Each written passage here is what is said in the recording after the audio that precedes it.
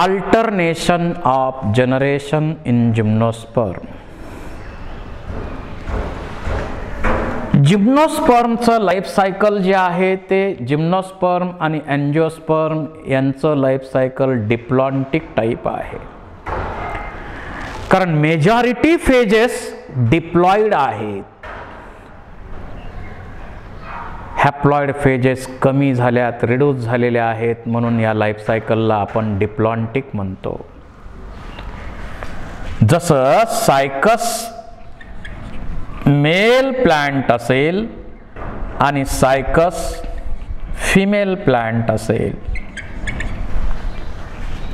दोन्ही काय आहेत? स्पोरोफाईट आहेत. दोन्ही काय आहेत? डिप्लॉइड आहेत. या मेल प्लांट वरती मेल कोण तयार होतो? आता फिमेल सायकस असेल तर कोण बनत नाही फिमेल म्हणजे असं कॉम्पॅक्ट नसतात ते मेगास्पोरोफिल त्यामुळं डायरेक्ट आपण मेगास्पोरोफिल घेऊ. पुढची स्टेप घेऊ. आणि मेल कोनमध्ये मायक्रोस्पोरोफिल असतात?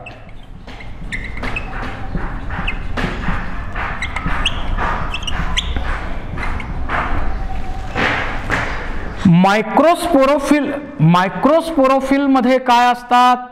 सोराय. सोरायमध्ये काय आहेत?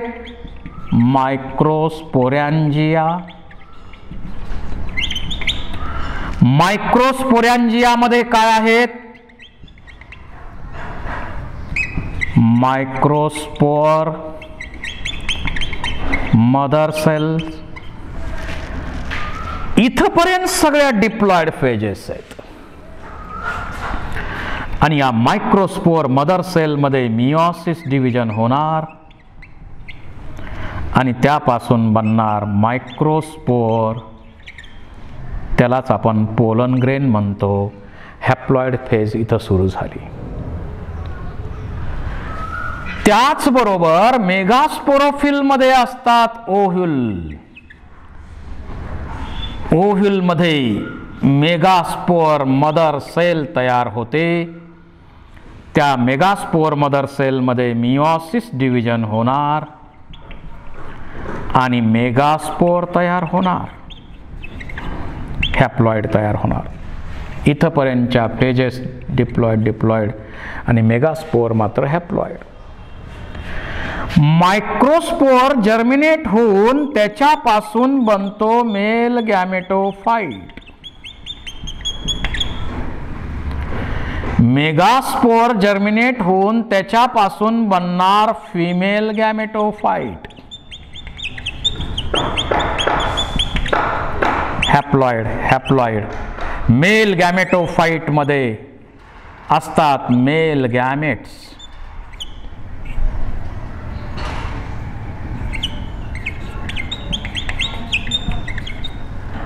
आणि फिमेल गॅमेटमध्ये आहे एग आर्किगोनी आहेत